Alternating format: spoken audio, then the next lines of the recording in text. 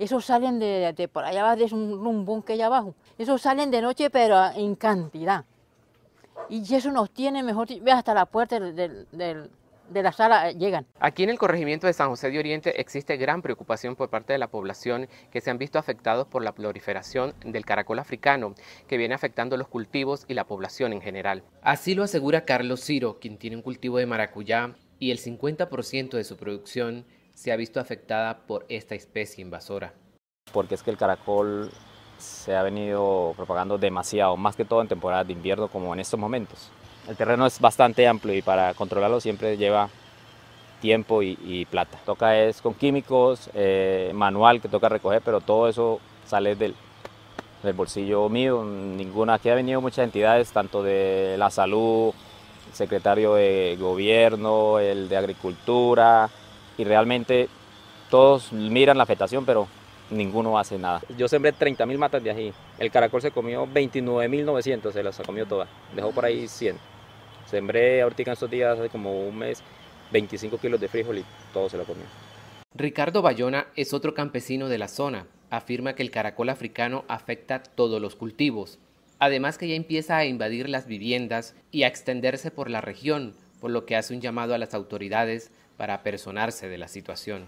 Si fuera solamente con la maracuyá, con lo que usted siembre, sea maíz, sea yuca, lo que sea, lo que está a su alcance, lo acaban, sí, por las paredes de las casas, por todas, ahí donde yo vivo.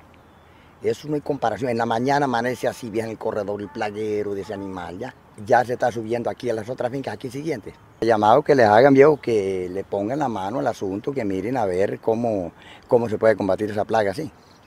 Exactamente.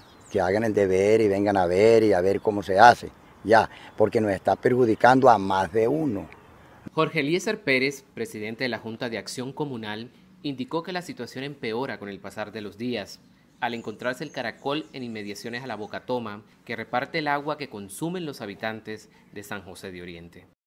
Se están haciendo presencia en la Bocatoma, donde se capta el agua para el corregimiento, y es algo que nos preocupa Carlos Villamizar, director de la oficina de la Unidad Municipal de Asistencia Técnica Agropecuaria UMATA, aseguró que ya están en las capacitaciones para hacer frente a la problemática y están viendo la posibilidad de dar algún incentivo a los campesinos para poder combatir esta plaga que afecta a los habitantes del corregimiento dentro del plan de acción y la primera fase de este plan de acción es una, una, fase de capacitación y de sensibilización de qué es el manejo, cuál es el manejo de estos caracoles, de cómo se puede recolectar estos caracoles, cuál es la disposición final que van a tener estos animales.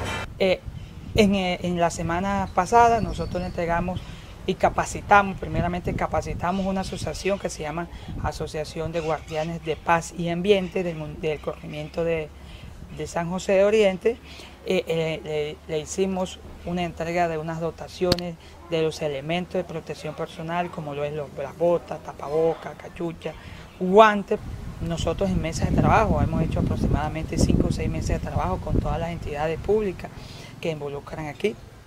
Eh, se ha mencionado eso con el gobernador y con el secretario. Vamos a tener una mesa de trabajo en estos días para tocar estos temas ya de pronto de subsidio, para que ellos puedan nuevamente, en lo posible, entregar una semilla, en lo posible entregar un abono, para que eso no los golpee tanto. Pese a la posición del gobierno municipal, la población del corregimiento de San José de Oriente considera que no se ha hecho lo suficiente y que existe negligencia de la administración municipal frente al tema ante lo cual siguen reclamando medidas efectivas y ayudas para hacerle frente a esta problemática que los afecta desde hace dos años.